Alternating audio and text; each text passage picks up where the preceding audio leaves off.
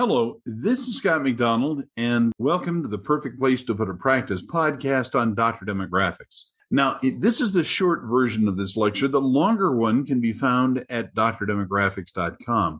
And we're going to call this today Playing Hooky or the Great Malaise. Now, it happens that almost everybody is seeing the same thing occurring in their patients. They're seeing it happen in their staff as well people are just feeling like i'm not sure i really want to come into work. I'm not sure that this is what i really want to do when i grow up. And and therefore people are missing appointments and not acting in the responsible manner that we've always hoped they would. It's kind of like jimmy carter said in the 1970s as though the nation is going through a great malaise. Now i don't have a solution for it. I do on the other hand want to say that if that's what you're seeing or feeling that's what market researchers are seeing as well.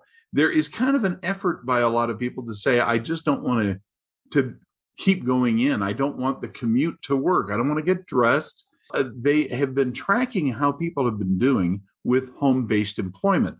So people who get on Skype or Zoom or whatever to go to work, they're not so anxious about 20 25% are saying they don't want to come in under any circumstances to go back to their normal working schedule, their normal life. That is causing a bit of a drag on what's going on. Some people are saying it's caused because of the uh, shipping problem. You probably all are aware that there's a major gas price increase or gasoline price increase. Heating fuel is going to go up, oil particularly natural gas is also going to become more expensive. And as these things occur, people are scared. They're being very cautious about what's happening, and they're not in a very robust attitude about hiring people. Now, there comes a point in which you cannot keep paying more and more money and expect to be able to stay in business. Even though some people have said, well, if you just pay your workers more, everything would be fine. As it happens, we notice this is happening throughout the United States but much more in some locations than in others. It's the urban areas that are really taking it to heart. It, it, things are tough. So if you're feeling like people are not being anxious to go into to work, that they're falling through in their appointments, that maybe your staff is a little reluctant to keep doing things, you're not the only one. This is going on just about everywhere. So the question is, is it going to last? And I will say in this short little video, no, I don't think it will ultimately, I think we're going to have a terrible Christmas because we can't get supplies. There may actually be a problem with food deliveries to grocery stores as empty shelves become more ubiquitous. As that happens, of course, the attitudes of people will change.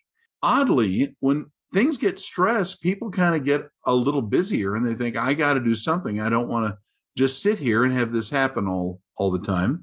They'll look at their 20 something children who are living in their extra bedroom and say, You got to get out of the house. This isn't working. It also happens that people are tired of being under stress and poor. There are still states in the United States that are showing significant lockdowns, and people are getting tired of that as well. As these things occur, I believe that we're going to see more and more people say, Let's change the scenario. Let's get out even the news and entertainment industry is going through a change. People haven't been going to the movies like they thought they were going to. They're not watching television events like they once thought they were.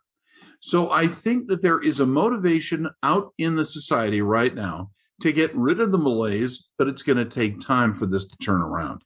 It isn't a thing that's going to happen from the top down. If you listen to that rather ubiquitous expression, let's go, Brandon, and I don't know what it means. I'm sure you don't either.